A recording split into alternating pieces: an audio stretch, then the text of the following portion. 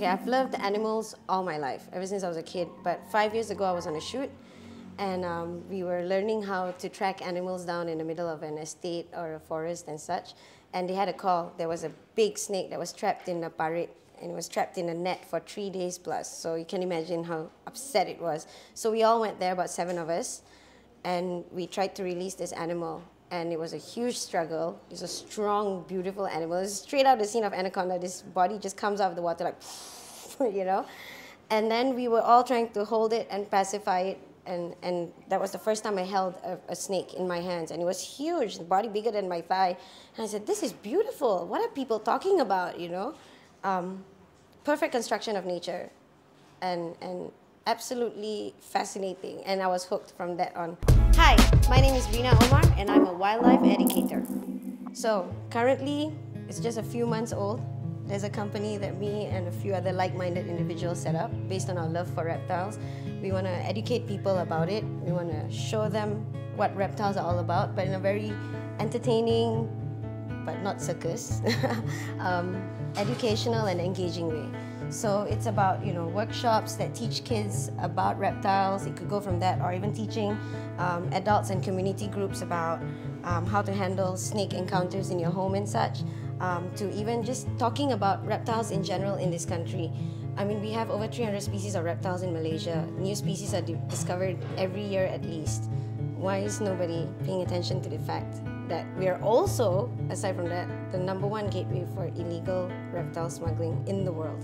So something had to be done. I love nature, I love the environment, and I really love reptiles. And I thought this was a really good way to incorporate loving environment and wildlife together and showing people there's something really special about reptiles and it can actually save the environment at the same time.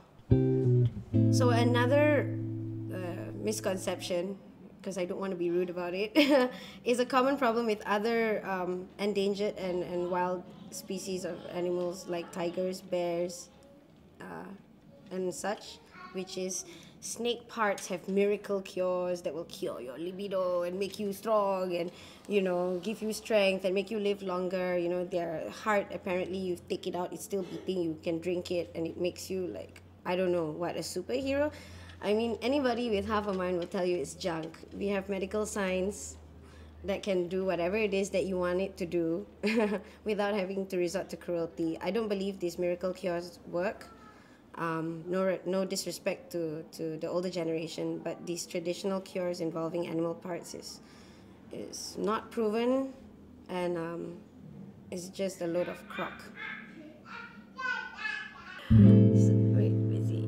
Okay, so it gave me the idea of also telling people how to deal with snakes because if more snakes are coming into the houses because we are developing and taking their homes, we can't stop what's happening.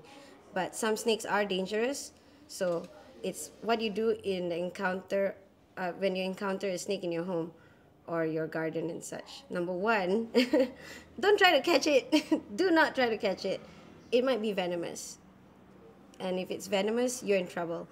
Um, most times uh, we're talking about venomous snakes like cobras they're fast their reflexes are lightning quick and they're unpredictable.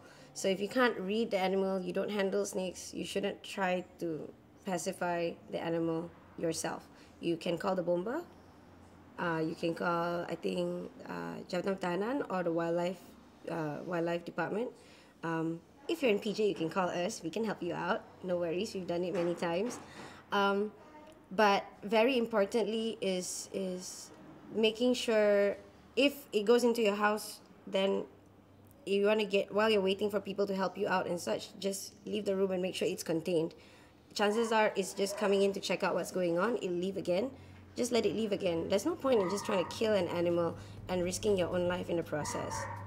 Hi it's rina omar and keeping it green on onehijau.tv